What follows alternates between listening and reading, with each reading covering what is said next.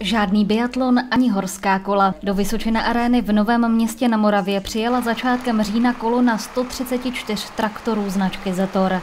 Uskutečnila se tady Vysočina Zetor Show, kterou organizovala společnost Moreau Agri Vysočina ve spolupráci s krajem Vysočina. Součástí akce bylo slavnostní předání stavebnic traktorů žákům a mistrům čtyř odborných škol, které budou pokračovat v projektu kraje Vysočina. Postav si svůj traktor. Už pět let pracujeme na tom, abychom propojili firmy, školy, e, výkonní pracovníky v zemědělství a všechny, kdo se o to zajímají, a nejen v zemědělství, ale i e, v ostatních oborech strojírenství a ke konkrétním krokům jako kajpany, nákup traktorů, nových strojů, nových CNC e, přístrojů a tak dále, se snažíme přesvědčit tu mládež, že je to velmi perspektivní a do budoucna velmi bude žádaný povolání. Zatímco loni zetory na školách v rámci odborného výcviku repasovali, letos si budou moci studenti postavit nové traktory. V minulém roce v projektu Postav si své auto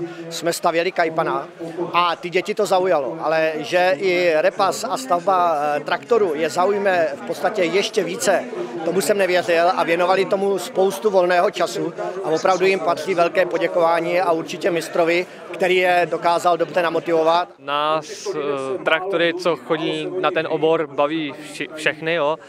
A, a bavilo nás na tím to, že jsme si to mohli vlastně naplánovat a zorganizovat sami. Čtyři nové traktory pořídí kraj Vysočina od společnosti Zetor za bezmála 2 miliony korun. Pánové a dámy moc nevěřili, že se dá postavit z dílu Zetor, že to v našich školách zvládneme, ale během těch dvou let jsme přesvědčili o tom, že když jsme to zvládli se sportovními auty, tak to zvládneme i s traktorem. A díky tomu, že budeme stavět traktory, tak se rýsuje ten nový projekt, což bude ještě trošku něco většího.